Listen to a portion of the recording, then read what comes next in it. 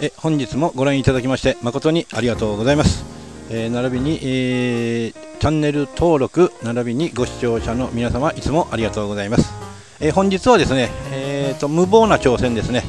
この間のあのブラックダイヤモンド2.41ミリ。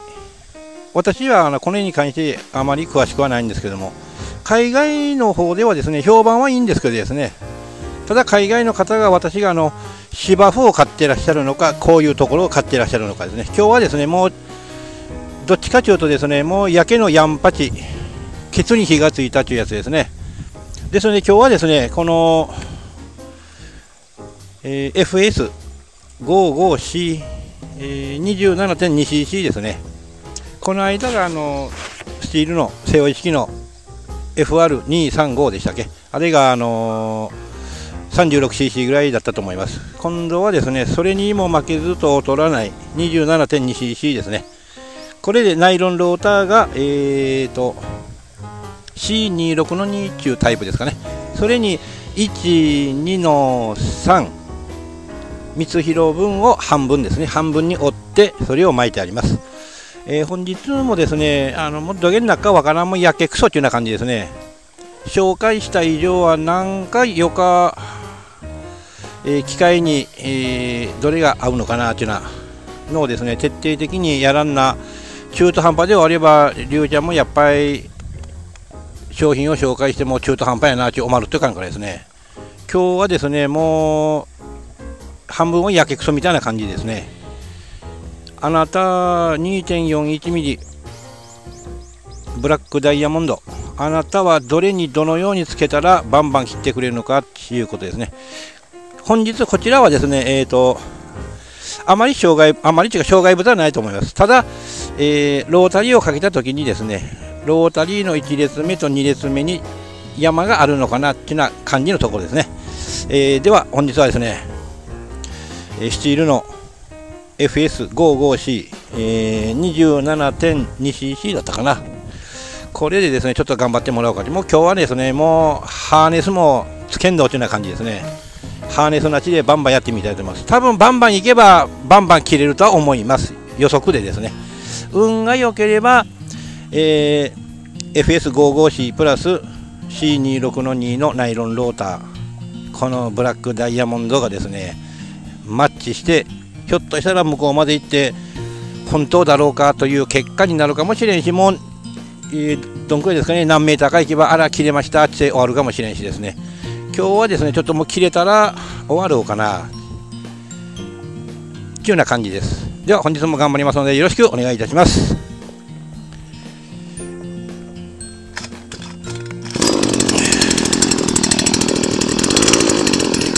もう今日もグローブも何もしません。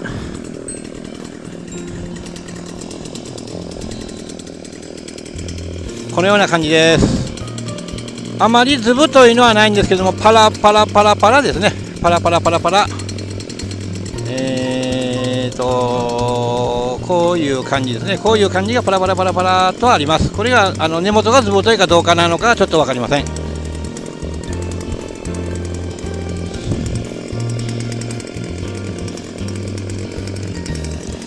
まずこの辺からいきます。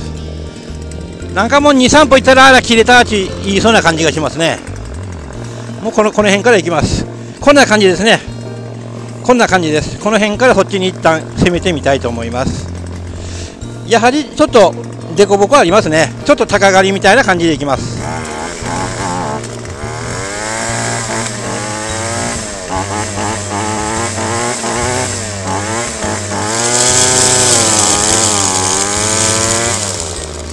出た？出過ぎた？と長いような気がするな。ちょっと長いような気がします。このくらい？これでいいですか？よし。よいしょ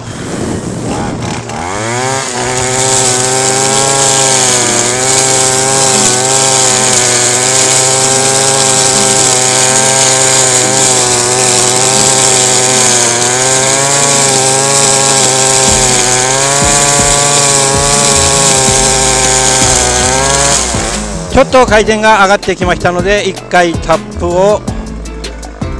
あらヘッドランなヘッドランですよ。私は今ちょっと高刈りというか下からですね5センチぐらいは軽く上げてます。ローターの下がモグランぐらいですね上が上がってます、まあ、ちょっとこれでやってみます。切れたらなんとかします。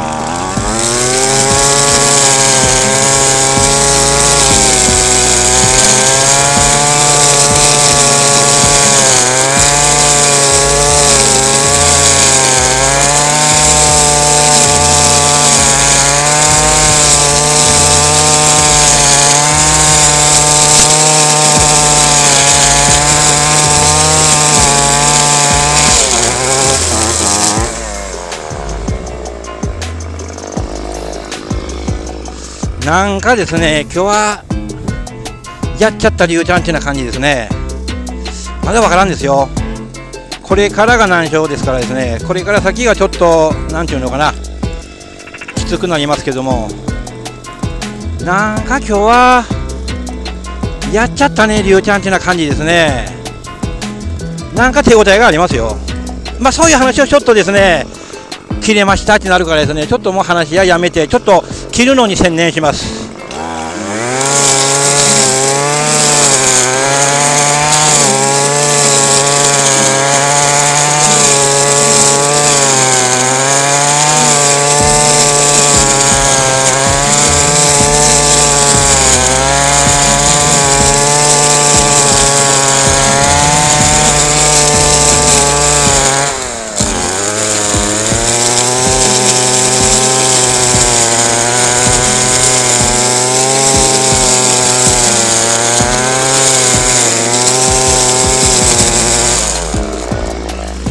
今のワンタップがあらになりましたね。ちょっとごめんなさいね。なんかなあのー、あなたが切るっといかんがちもせほら出したとな。なんかいいけそうな気がしますね。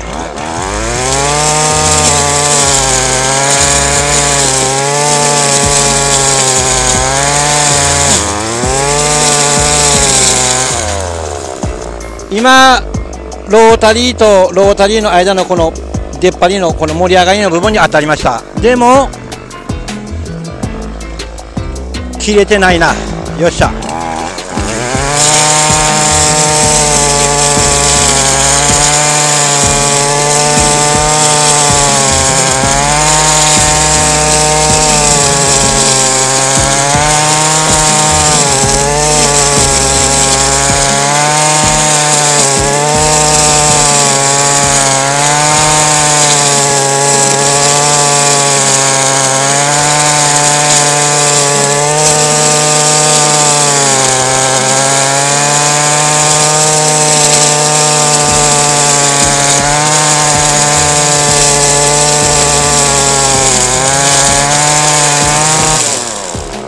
やりました。あまり進みすぎましたね。やっぱりあなたは芝生向きか、えー、今現在ですね。1 2 3 4 5 6 7 8 9 10 11 12歩ぐらいですね。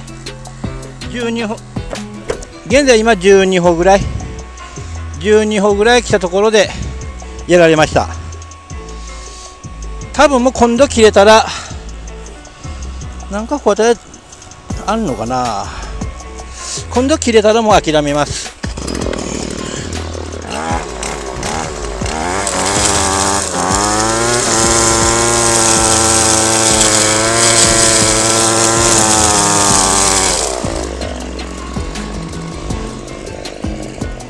欲を書いて出しすぎました。よっしゃ。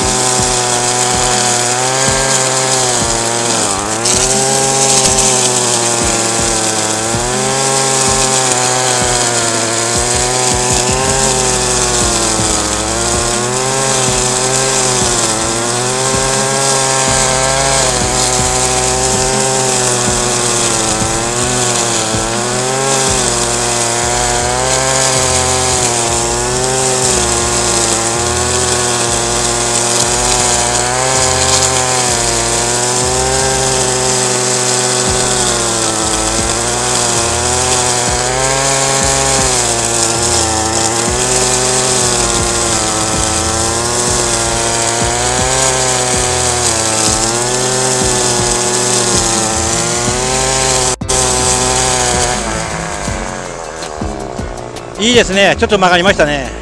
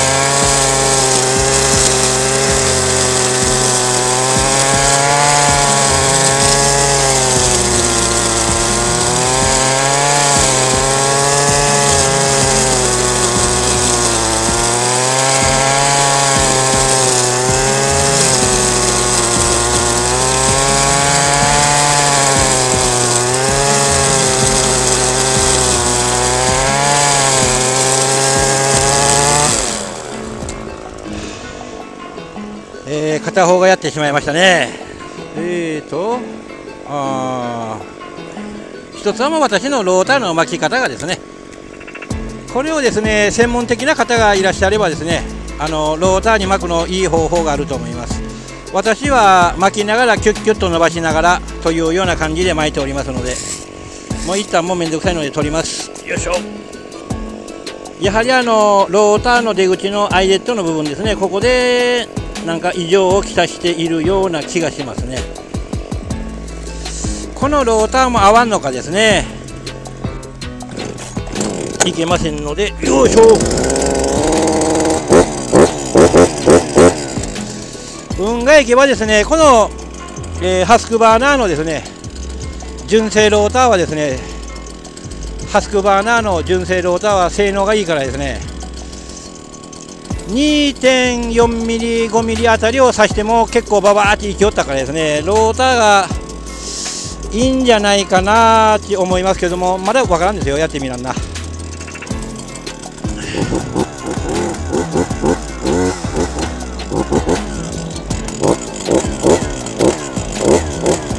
おお温まってきた。よっしゃ。あらえーとスチールのハーネスで悪いところはここですね。かけるときにですねなんかこのフックがこうなってかけるもんだから誤ってここをポッチ押せばもうそのまましっちゃるっていうような感じですね。こうしてかかったかようちゅうなこうですね。今この状態でこのフックを押せばですねもうそのまましっちゃるっていうような感じですね。これがいいのか悪いのか。これが安全安全面でいいのかちょっと分かりませんけどですね。ハスクバーナーのやつはもう上から持ってきてカチャンとかけてレバーを引いて上にポンって上げるだけですね。そうそう外れる。これはもうこのままですね。こうするともうひっちゃるってな感じですよね安全上は悪いと思いますけどですね。なんか引っかかったとかですね。ポトってしちゃうからですね。ここがしにくいですねこれは。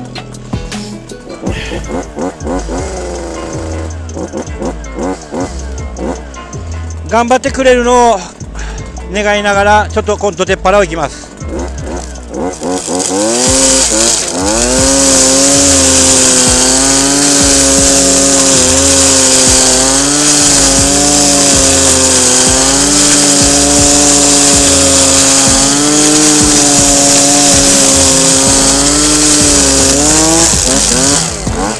本当の2、3歩でしたね。この感じですね。ダメだこりゃっていうやつですね。やはりこのほら。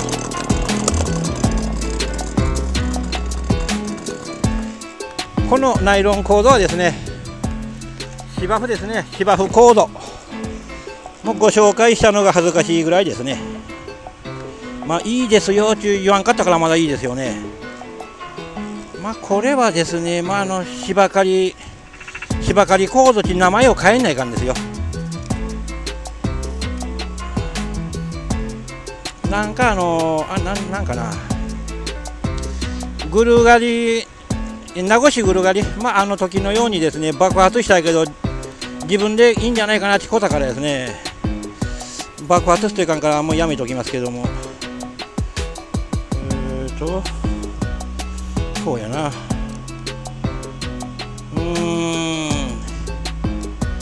これはですねいいかな。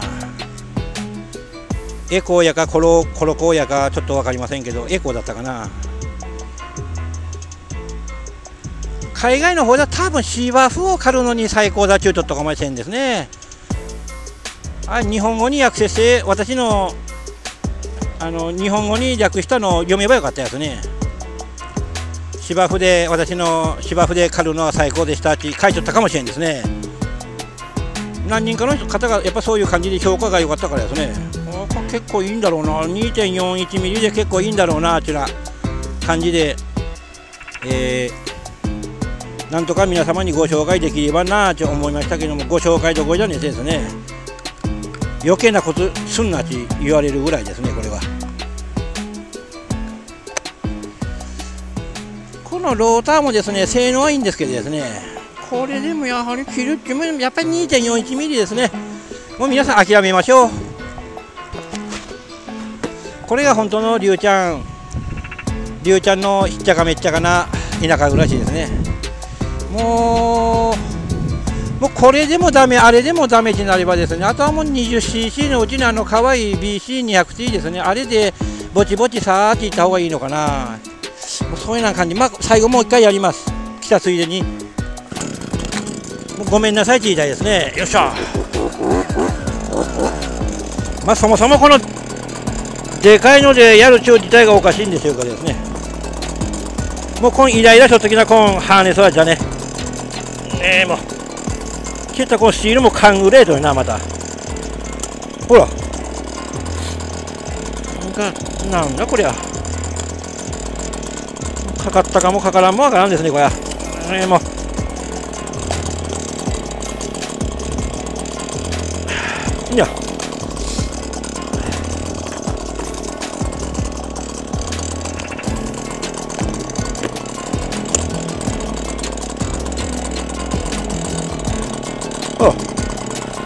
なんだこりゃ。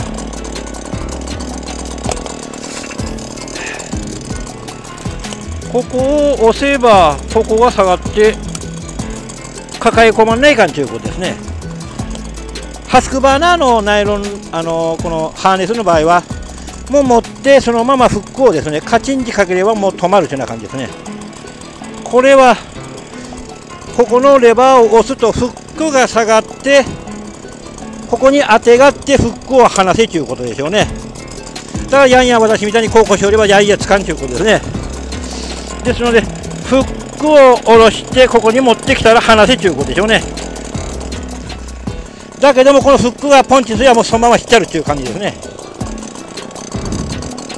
ここにあてがって離せこうですね。めんどくさいですね。このまではですねいいねいいね状態ですけどね。ここがダメですね。ここの作りをもうちょっと還元ないかんですね。ハスクバーナさんにせに、あこは使わせもら何度か言った方がいいですね、これは。もう食えんのでは今度はハーネスに与えていきたいですね。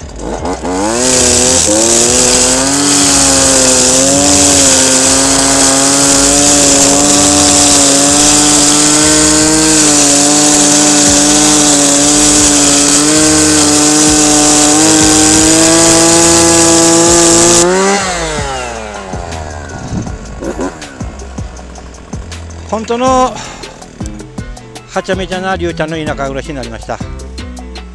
今これで終わればですねなんか中途半端になりますのでもう今日はですねもう諦めました、えー、今度はですね RM3032 ですねこれをですねあのちょっとテラマックス 4.5mm ですねあれをつけてありますけどもあのコードはちょっと長めのような気がします。のでちょっと調整をしたいと思います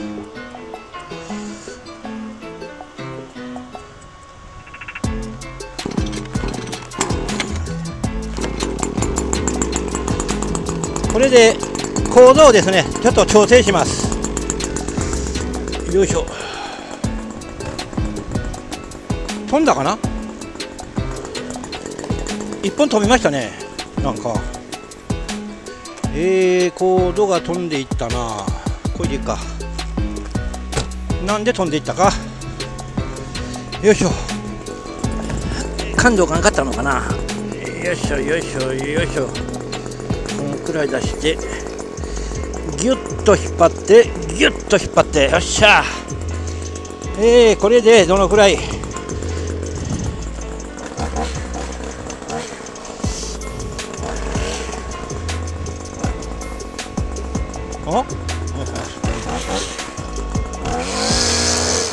飛んでいった。ほらいかん。何なんだ？今日はなんか本当のはちゃめちゃなりゅうちゃんの田舎暮らしになりそうやな。何本か作っておからまた引っこ抜くかもですね。これでどうだ？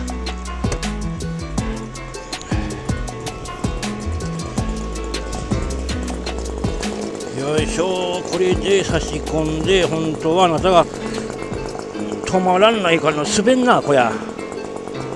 何号か？今止まったかな。今テラマックスをですねジェットフィットなんかにつけるときにはちょっと差し込んでこううまい具合に調整しとかなスポッチ抜くですね飛んでいきますね。また回せば飛ぶのかな。あ飛んだ。なんだこりゃ。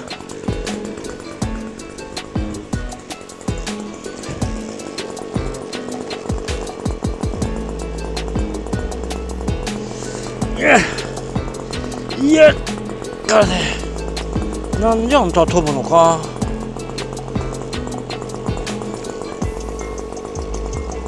今度あんた抜けんな。ダメだこりゃ。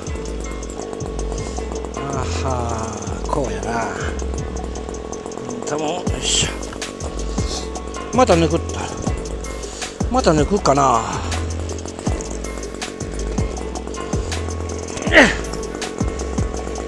よっしょ。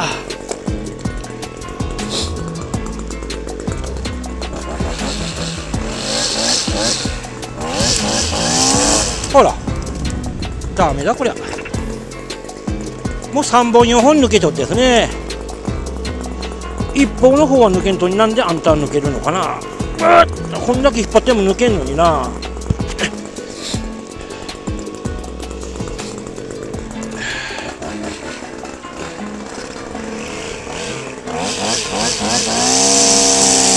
あ抜けんな。あ大丈夫？こんないいな。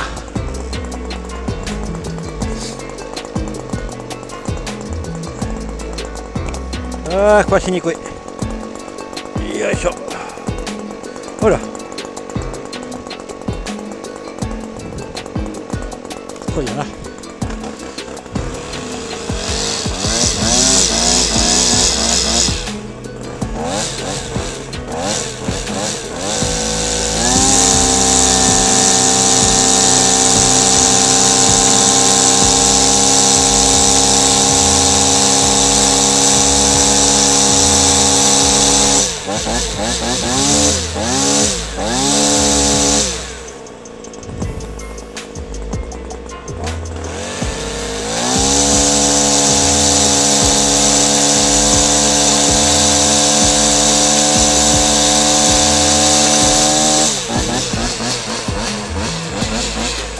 今この長さですね。今の長さがちょうどこの機械に合った回転でちょっと草を切るときに負荷がかかるかなというような感じでしょう。先ほどの続きをやっていきます。よっしゃ。どこまでいけますかね。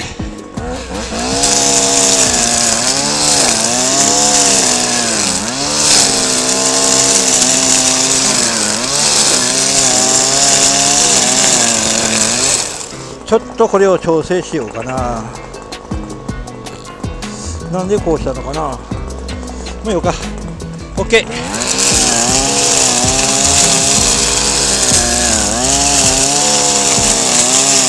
っしゃ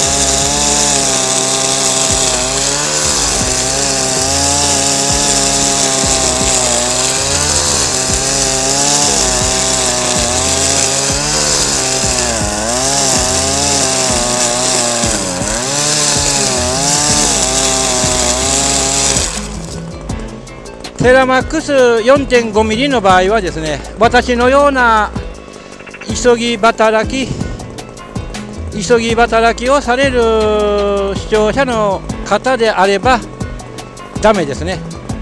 ちょっとのんびり行こうぜちょっとあのぼちぼち行きながらでもいいから狩ろうぜというならいいと思います。私のように急ぎ働き公共工事とかなんとかですねバンバン行かないいかんとこではちょっと厳しいナイロン構造ですね。今ののを見ていただければですね。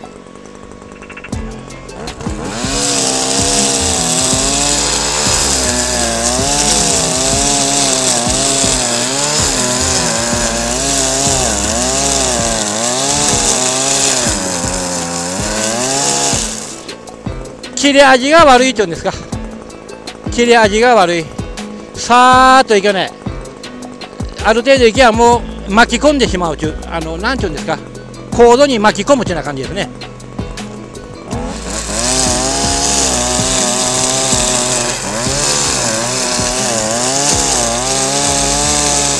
こんだけの回転で切らんちゅうのはもう仕事にならんちゅうことですよね。こんだけの回転でもテクニブレード7ミリやったらもうさーっていきますからですね。これで回転を落とさないように切るという速度がですね今これですね。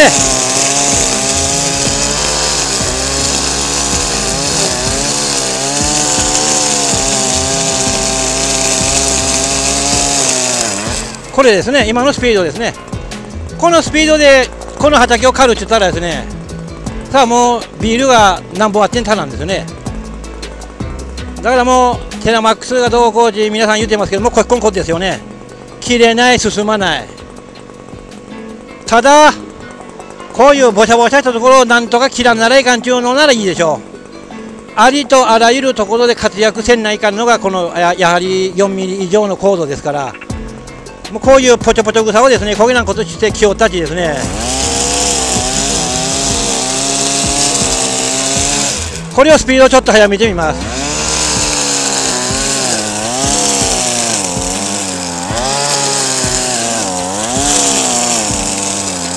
これがテクニブレード 7mm のいつものスピードですから。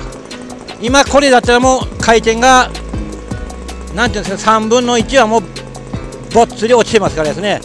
これをテクニブレード 7mm のようにさーっと切れればどうなる切ればどうなるかというとこれですね。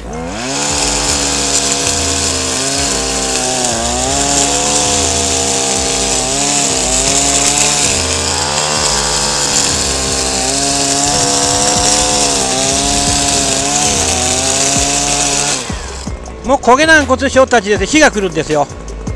だからもうこれはですねまああの週末のちょこっと狩りの人はいいでしょう。楽しんで草を刈ろうち。私みたいにですねちょっと板ます入れて切らねえかんどちゅうのはですねもう待ってダメですねこれは。テクニブレード7ミリあればこういうスピードにいくからですね。こういう感じで。これでもテクニブレードのスピードであったらもう回転が落ち鍵落ちて私は切れませんってもうアッパチョですね。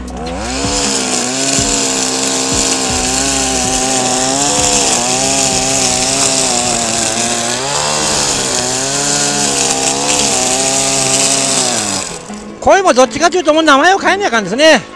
芝生のナイロンコードとしてですね。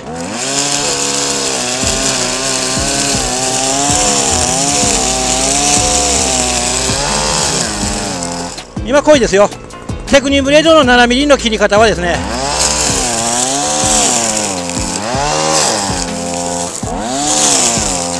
もうこんだけ回転が落ちて仕事にならんちゅうことですよね。だからもうテクニブレード 7mm を使われている方がもうこれを使えばですねないごてこたろかい。ちのこていつもあのグルガリなんかで言いますけども先ユンボンも着て潰さんかっていうぐらいの高度ですね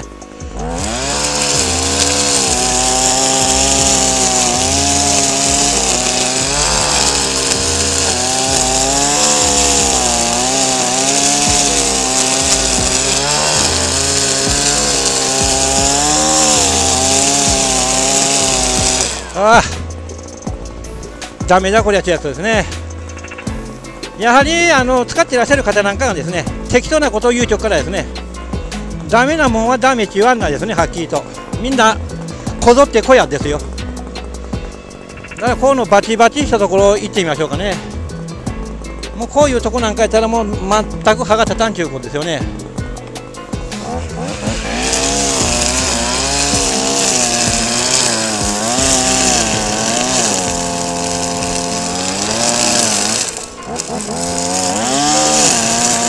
かまだ構造ちょっとまだ短くせんねえか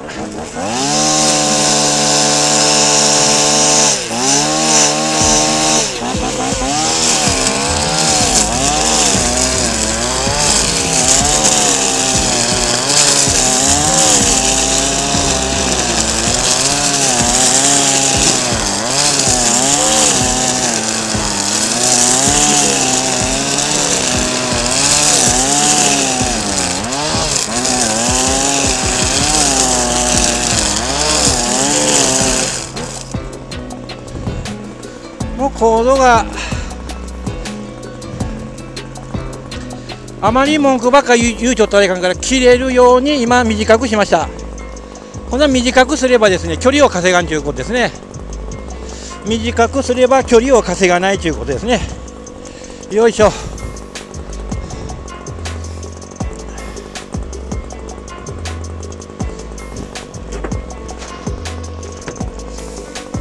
要はテクニブレード 7mm であればですねもうこんなところはもうバンバンいきますからですね。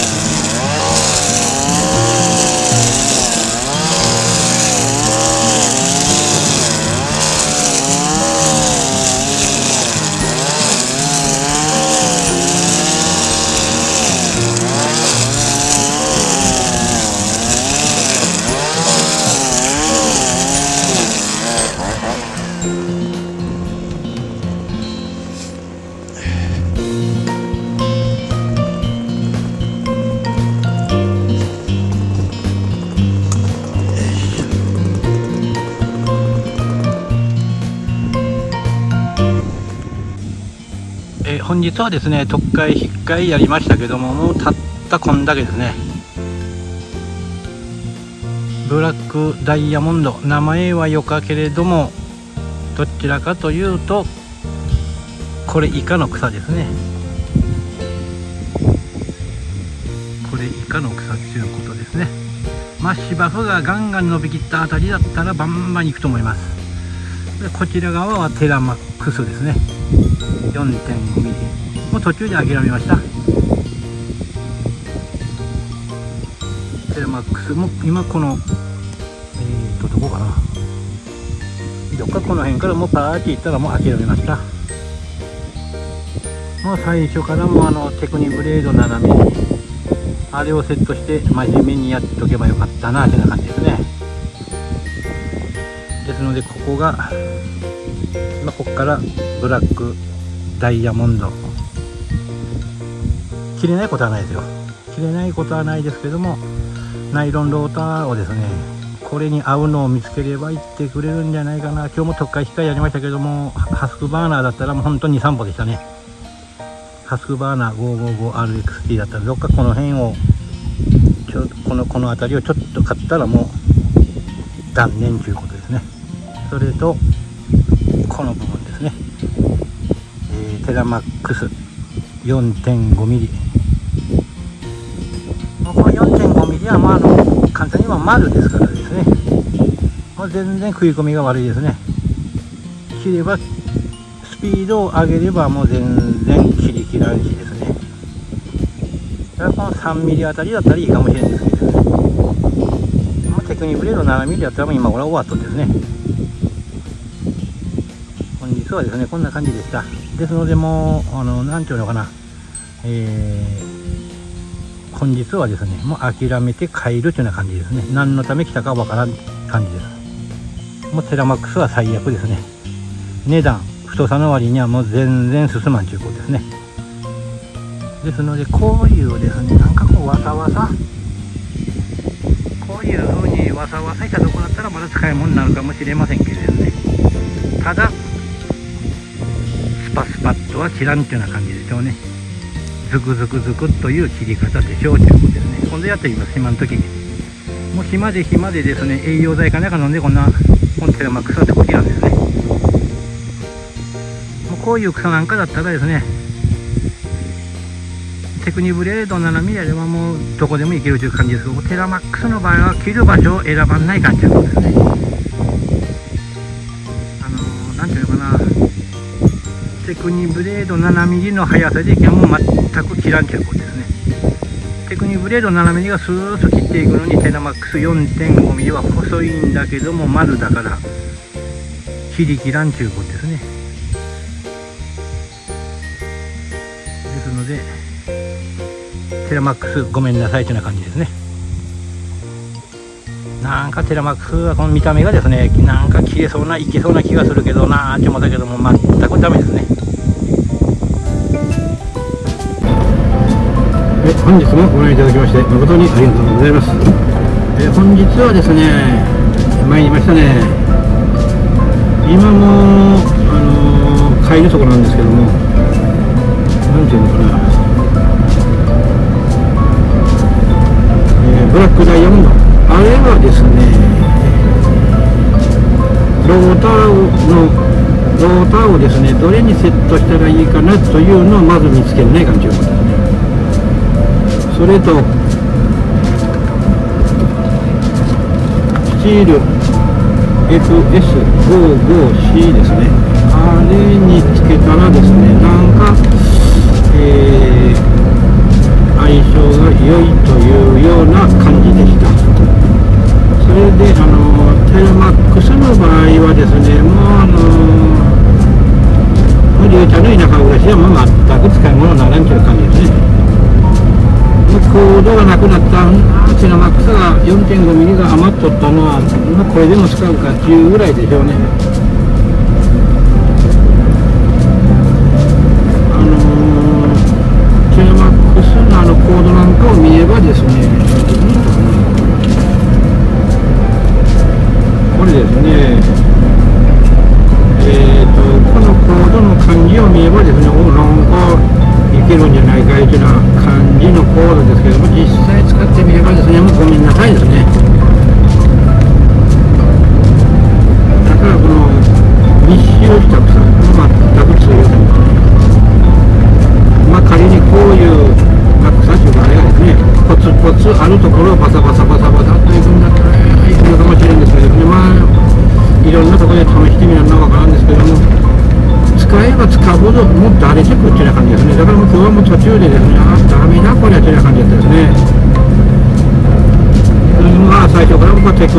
の波やったら今頃は終わっとったけどなするんですけどが垂れてですねもうああもうこれ以上言っても無駄だな燃料の無駄だなっていうような感じですね。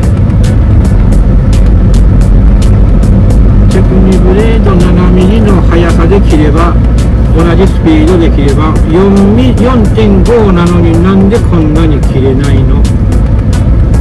答えは丸だからということでね。テクニブレード7ミリは7ミリなんだけどもなぜ切れるののこばだからという感じで素材が違う少し固めだというですねですのでまあ今からですねりゅうちゃんどんな行動があるかというのは7ミリを求めてます7ミリをですねお手持ちの機械にお手持ちの機械にですねあの私が先ほど動画でしたようにさーっと削っていただいて、えー、回転がまあ回転がこの辺りまでまあこういくとしますね。あのあのローターに何もセットしてない状態でまあこのですね。私のこのおでこのこの辺りまでですね。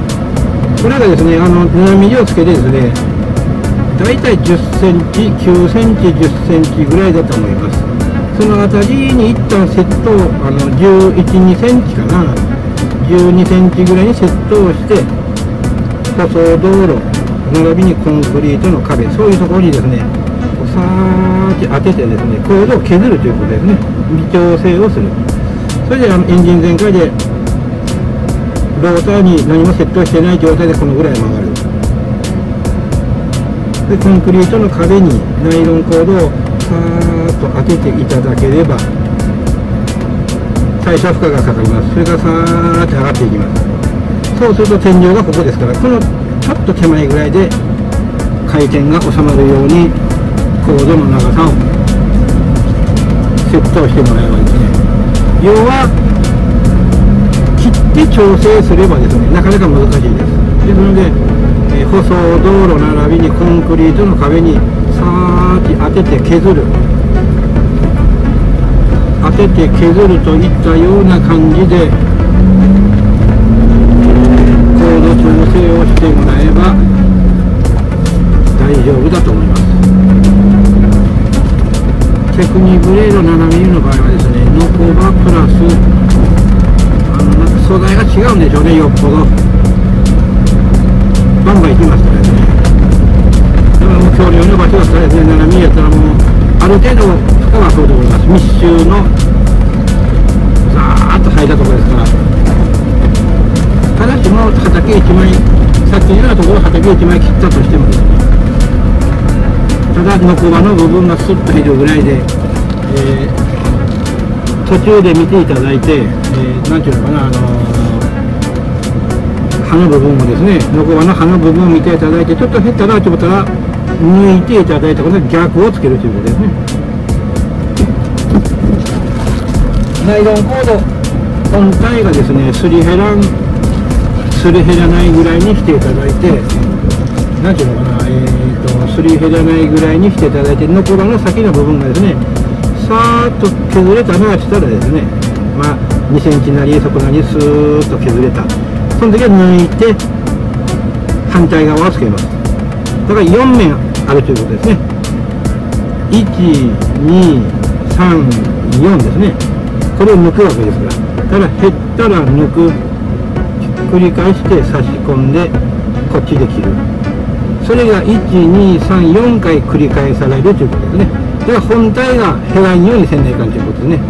切れるからどんどんいければですねこのここがこう擦れていきますので全体的に今度はここが擦れてくれば全体的に擦れていきますのでここの部分がさっと。凸凹のこのノコバの部分がスッと減ったら抜いてひっくり返すこれでまた新しいノコバの部分を持ってくるということですね。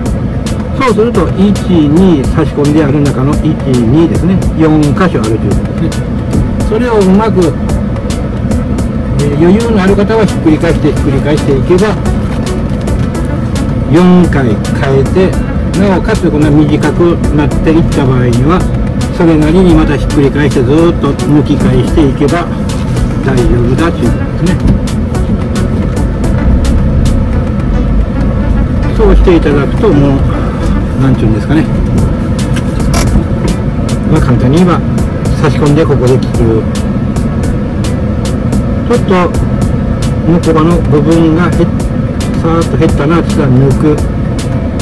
この反対側をこんなこう持ってくるということでね。こっちが山がある方を切る方向に持ってくるということですね。それを繰り返せば1回2回3回4回こんな抜いてこう差し込むということですね。まあこれで説明するとまあこれがギザギザがまあ両方あるわけですね。こういうふうに。最初はこちらで切って今度はここの山が何ていうのかなこうか。ここかなここの山がですね1センチから2センチスーッと減ります。その時に抜く。それでまたこの何ていうのかな山あの山の新しい方を切る方に向けるということですね。そうすると1234ということですね。4回は新しい葉が出てくるということですね。こっちこっちこっちこっちですね。4回は新しい葉でいけるということですね。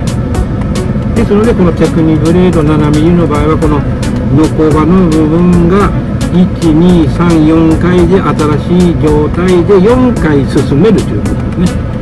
それでこれ全面12344箇所がですね1センチはスーッと減った。2セン1センチから2センチの間は半分山が残ったみたいに減ってる。それが1234箇所できるということですね。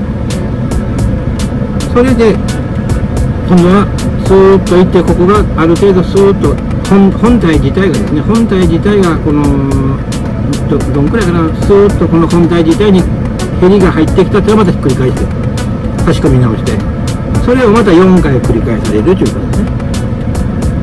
ですの木の長い方はですねそういうふうにして1回2回3回4回新しい葉で4回切る。それからちょっと古い葉で4回切るということですね。それを繰り返していただくと半半分減った葉で次を切るということですね。それが新品の葉が4回。半分だけ減った葉が4回切れるというそれであとはもうそのすり減った葉をまたひっくり抜いてまたこうこうしながらすると永遠にずっと回転がバーッと上がるまではコードの長さがバーッと減って回転が上がってくるまでは使えるということですね。これが、えー、テクニブレード 7mm の良さということですね。このノコバの部分が新しいノコバの部分で1234 1234切れるということですね。でそれで私がこのなぜこれを気に入ってるかというと丸とか三角とか四角の場合はもう斜めにすれてずっとすれていくということですね。この場合は新しい刃で1回2回3回4回切れる。それで少しだけすり減った葉でまた1回2回3回4回。それでまたその半端すれた半端すれかかったところでまた1回2回3回4回っていうふうにずっとじゅんぐりじゅんぐり差し替えていただければある程度回転がわーっと上がってくるまではある程度のキレが持続するということですね。今これですからこういうもうこれはですね掴んでぐギュッと掴んでですね引っ張れば手を切るんじゃないかなというぐらいあの、まあ、鋭利というわけでない結構ギザギザが硬いですね。ですので何回も言いますけども新しい刃で1回2回3回4回。ちょっとすり減った刃でまた1回2回3回4回というふうにバリバリいけるということですね。ですので私はこれが一番気に入っているということですね。ですので皆様もですねジェットフィット。できればですねおすすめは4本出しです。ちょっと重たくなりますけども4本出しがいいです。作業しているとですねたまにペンチかなんかでガーッと挟んで引っ張っても抜けない時がたまにあります。なぜかわからんけどですね。あ私中の機械がでかいからですね。切ってるうちにも食い込みあの中の、あのーラジェラジェットみたいなのがあります。カチャカチャカチャって止まるやつがあります。そこの部分がですねまあ立ち中の場合はあのこの親指人差し指のこの辺りのやつをバンバン切るもんですから、まあ、衝撃と引っ張られる切る力でめり込んでいくのかしら。たまにですねペンチでグッと掴んでも引っ張り出せんとも灰はもばらして蓋を開けんなあのダメだという時があります。その時にですね4本立ちの場合1本がダメになってあらもうダメだなというのもここを切ります。ここを切って後ろも切ります。それで後の残りの2本のところに新しいのを差し込むということです。これはないわけですから。だからこんなこちら側から1本こちら側から1本差し込んで2本立ちで切るということですね。これも3本になる3本になるんですけどもこれも切った方がいいです。ああ抜いた方がいいですね。抜いて抜けなかったのだけをここを切るということですね。そうすると新しいのがここに穴があと2個は2箇所差し込めるように4本立ちですから。まあ、4本立ちの場合は、まあ、こう来るということですね。こういう十分切りになるということですね。ですので、まあ、4本立ちの場合はね、大概の機械はきついです。ですので、もし切り寄ってですね、あだいぶ構造が短くなってきたな、これを抜かないかんと、こっちから引っ張ってもですね、もうどうしても抜けん時があります。たまに。その時はですね、もうこれを切ります。切って、それでもう一方の方は抜きます。そうするとこことここがなくなるわけですから。これはもう抜けんからもう切らんなしょうがないということですね。それで4本出しの場合は今度は新たにこちらから1本こちらから1本入れるということですねこれいけるということですねこれ先ほど申しましたようにですねある程度スーッと減ってきたものを抜いてください。抜いて差し替えてください。その方がいいです。もうそのまま切れる切れるもんですからですねもうちょっとよく書いたら切るからもうどんどんいくわけですね。そうするとこれがたまにです。ね噛んでもうどうしてもペンチですかもが何しようかも引っ張り出せん時がたまにあります。もうバラ線が取れないという時がありますその時のために私は4本立ちをおすすめしますねどっちかというと。本当はこうですからね。4本立ちの場合はこういうふうに入るわけですから。これを抜けんかったらもうこれを切ります。新たにこっちとこっちに入れて2本立ちにします。でこちらの方はもう抜けるであれば抜きます。で2本立ちに新たに2本立ちを作るということです4本立ちでも構わんと思いますけどね。長さを短くすればというような感じで本日はですねこんな感じでした。もう久しぶりにですね参りました。というような感じですね。まあ、テラマックスの場合はですね、まあ、皆さんがどういうふうにお話をされているのかは分かりませんけども、りゅうちゃんの田舎暮らしではですね、まあ、全く使い物にならんちゃ失礼です。になりますのでそこそこは切れると思います。ただし相当な馬力でいかんのですね。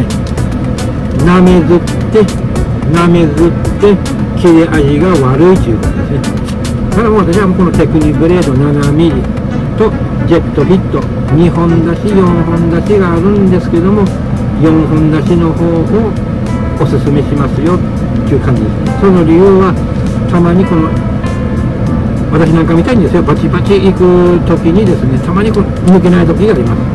こっちから引っ張っても抜けない時があります。その時に4本出しであれば、あのーこれを切って新たに1本2本入れて2本出しになるということですね。そういう感じでした、まあ、このまでゆっくり説明いたします。えー本日はですね、参りました。えー本日もご覧いただきまして、誠にありがとうございました。えー次回もですね、頑張ります。最近ちょっとですね、このここの歯が抜けてですね、あまりこの笑えなもんですからですね、今度なんとか、ちょうどここですね、あまり見せるとですね、お客様がですね、あのお客様じゃなかった視聴者の皆様がですね、りゅうちゃんちょっととやっちゃったねというような感じで言われますのでちょっと隠しますけど最近だからあまりですね笑えないんです正直なところ。ここの歯がですねこポロッと抜けてしまってですね笑ったらどっかあなたおかしいのっていうような顔になりますので最近でそれでこの間ですねあのえー、奥様にも言ったんですよ。あの奥様すいません。今度はあの帰ってくる時ガムを買ってきてもらえませんかって。なんであなたはあガムを食べんと食べん食べんがねってガムはなあのなんで今ガムをあのくたくたしたいかというと歯が抜けとくからここ歯のところになそのガムは常っせにあの話をすればわからん立ち頃かいち話の途中でそのガムを衰える土下になっとねえてもう差し歯がおっとりのとと一緒だから何もならんがに歯医者に行かんねえってでも僕歯医者怖いんですって言ってですね。本当は歯医者に行きたいんですけど歯医者怖いんです。ですのであのここですねちょっとあの歯医者にガガムをですね噛んで詰めてお話をするようにせんないかなっていうような感じですね。あとここの部分ちょうどこの部分ですね。だからもう笑ったらもう最悪ですよね。笑ったらあんたは誰？っていうような感じになりますので。今度はですねちょっとガムを噛んでですねガムをちょうどこの歯の形に揃えてこうつまんたくってですねでちょっと笑おうかなと思ってですね。今今笑ったらですねもうちょっとあんた誰って言われるからですね。りゅうちゃんはどこに行ったのって言われたらいいかな今ちょっとこの歯が欠けて声もですねだからででちよねっていうような感じですね。でそれで今度はあのガムを噛んでですねここにガムを詰めて、えー、皆様と再度お話をしたいなと思います。だって最近ですねちょっとここでこう隠したりしてですねあの上品にこのお話をしようかなと思いまして。ですので今現在ですねりょうちゃんが思い切って笑えない状態ですね。だからあの今度あの昔で言うチューインガムですね。チューインガムをここに詰めてお話をせんないかな。そういう感じです。たまにチラチラってですねこの歯のないのが見えますけどもそれはもう勘弁してください。私が悪いんじゃないです歯が抜けるのが悪いんですから私はあのあの一生懸命歯は今まで朝晩磨いたんですけどですね。とうとう抜けてしまいましたここがですのであの今度おしゃべりをするときにですねありゅうちゃんが笑い出したな時にあガムを詰めたなって思ってくださいあガムをりゅうちゃんが詰めたなってですねですね最近はちょっとですねあまりこのカメラに近すぎて近づきすぎてですね笑ったりするともうこの歯がですねないのがスパーッと見えますからちょっとこういうふうにしてお話はしますけども何ちゅうのかな、え早く歯医者に行けばいいのにねとかですね。その歯医者に行くお金が欲しいとかそういうのじゃなくてですね歯医者があのりゅうちゃんは怖いっていうような感じだから奥様が怖いか歯医者が怖いかってなればですね際どいところですね。まあ奥様が怖いという理由とかじゃないですね。まあ歯医者はですね達成にあのなんていうんですか麻酔みたいなのをちょっと言ってですねスポッチに抜けば抜けますけど奥様の機嫌の場合はあのちょっと抜けないからですね。3日ばっか。機嫌が悪くなったら3日ばっかり長引きますのでまあご飯が回らんかったりとかですね。そういうふうになりますのでお奥様が怖いです。その次は歯医者ですね。歯医者。そういう感じです、えー、まだあんまり冗談を言うとったですねあの気持ちあんまりチラチラ見えますね、えーあまり冗談をですねあのこうお話をしてるとあのいけませんのでまたお話が長いとかですね。ただあの歯がまともになるまではこう押さえるとかちょっとこう隠すとかですね。こういうなんかここに隠すのを選んでなんでね。今更こうマスクをすればですねなんかなんでじゅうちゃんなマスクをしちゃったのか。これとうとう歯が抜けたなーってな感じですね。おそらくこのマスクをしだしたらあの歯医者に行ってやっちゃったなりゅうちゃんっていうのもですねでそのその次の段階が笑ってなんでりゅうちゃん歯が全部きれいに揃ってるのっていうような段階でしょうね。おそらく。ですのでこの歯を喧嘩せねえかんと思ってですねそういうふうに今考えております。ですので本日はちょっとこのここを押さえてですね、えー本日もご覧いただきまして誠にありがとうございました。次回は歯医者に行って何とかします。ありがとうございました。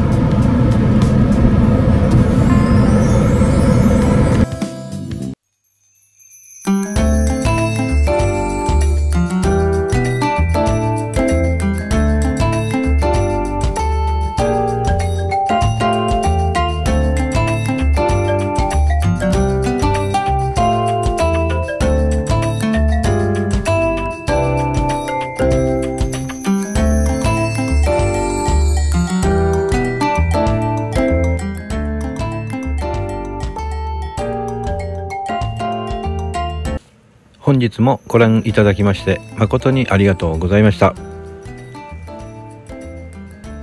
次回も草刈り作業を頑張りますのでチャンネル登録並びにグッドボタンもよろしくお願い申し上げます。本日は誠にありがとうございました。